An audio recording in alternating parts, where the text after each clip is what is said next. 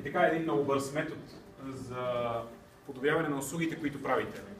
Независимо къде сте в бизнеса, независимо дали още не сте започнали да правите пари или вече правите хиляди и дори бих казал милиони, един много бърз чек, пак една микроматрица, с която да работите.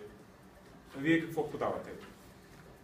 Това е вашия продукт, това е вашата презентация, това е вашата услуга. Наричаме го sales. Каквото и да продавате, това е основният, ми, основният ви метод. Да продавате. Ако вие не продавате, просто не съществувате.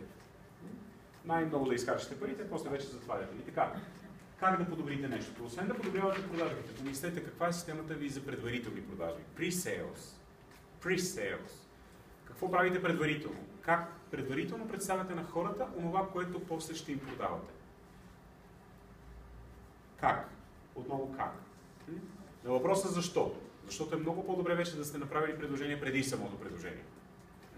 Добре е да знаем. Защо? Защото вие правите ентото предложение на хората, когато реално дойде време за продажба. В този смисъл много по-бързо ще затваряте сделката. Следващия въпрос. Окей, продажбата ще е усъвършенствате. Имате ли система за пост-сейлс? Тоест, след продажбата какво правите?